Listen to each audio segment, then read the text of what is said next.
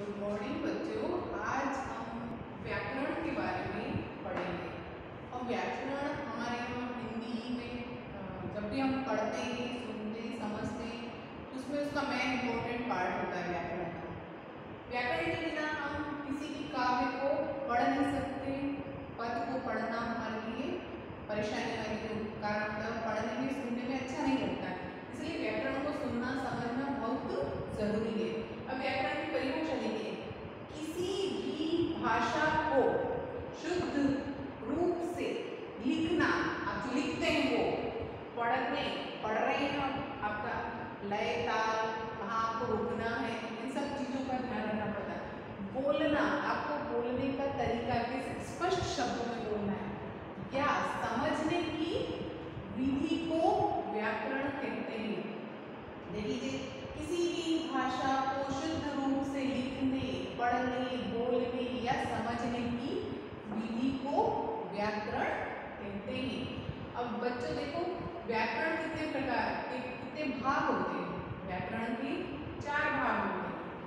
वर्ण, शब्द पद वाक्य सबसे पहले लेंगे वर्ण और वर्ण किसे कहते हैं आपने अपनी छोटी कक्षाओं में ज़रूर सीखा होगा कि वर्ण किसे कहते हैं?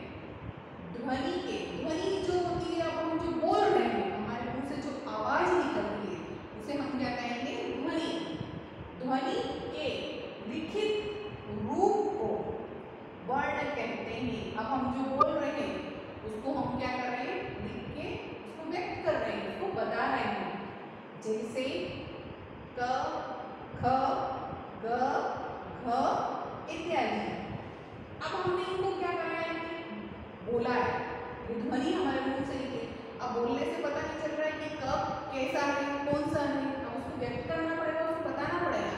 इसीलिए हमने उसका लिखित रूप दिया है इसीलिए हम ध्वनि के लिखित रूप को वर्ण कहते हैं ये हमारा ध्वनि है जो हम बोल रहे हैं उसका ये लिखित रूप है इसके दो प्रकार होते हैं स्वर और व्यंजन आपने छोटी कक्षा में ज़रूर पढ़ा होगा स्वर किसे कहते हैं और व्यंजन किसे कहते हैं अभी स्वर और व्यंजन आपको मैं आगे बताऊँगी कि क्या है अगला शब्द वर्णों के वे समूह अब कौन से समूह जो हमने वर्ण ये वर्ण कहाँ ढूंढे थे हमने क ख ग घ ये वर्ण ढूंढे अब इनका समूह समूह यानी कि दोनों को एक करना है ना वर्णों के समूह जिनका कोई अर्थ निकलता हो शब्द कहलाते हैं अब दो शब्द वर्ण अलग अलग अ और म अ में आ ले लो तो आ म दो हो गए तो शब्दों का जो ये वर्णों का जो समूह है, उससे क्या हो गया, नया शब्द बन गया, आम। अब जैसे देखो अलग अलग ये शब्द अगर इनको हम अलग कर देंगे, क, म, ल। अपने आप में अलग अलग वर्ण दे रखे ये तीनों। और तीनों को हमने एक कर दिया ये एक शब्द बन गया और शब्द भी कौन सा कमल जो कमल का फूल आपने देखा होगा वो कमल मकान मगर आदि इस प्रकार के शब्द बनते हैं। किससे बनते हैं? वर्णों के मेल से। अगला पद।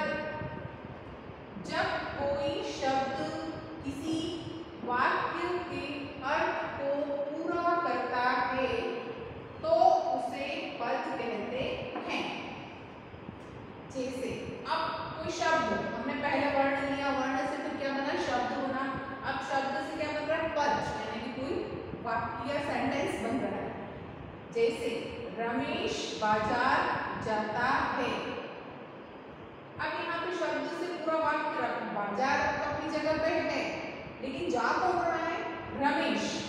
रमेश बाज़ार जाता है, क्योंकि रमेश को कुछ सामान लाना है, इसलिए रमेश बाज़ार जा रहा है।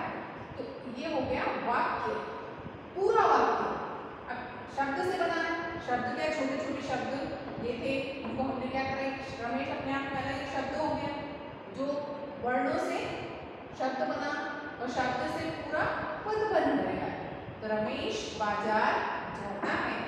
अगला देखिए, वाक्य। शब्दों का वह सार्थक समूह भाव या विचार को पूर्णतः प्रकट किया जा सके। उसे वाक्य कहते हैं।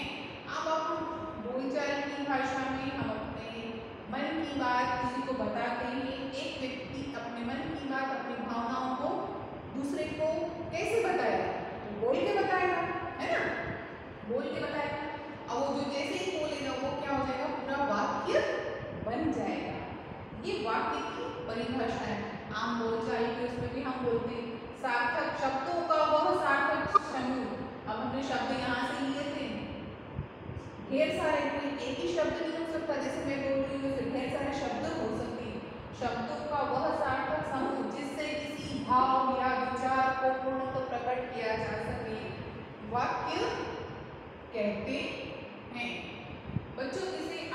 व्याकरण के ये सारे जो दिए हुए वर्ण, शब्द, पदों, वाक्य चार भाग, इसी के द्वारा हम आगे भी और पढ़ेंगे।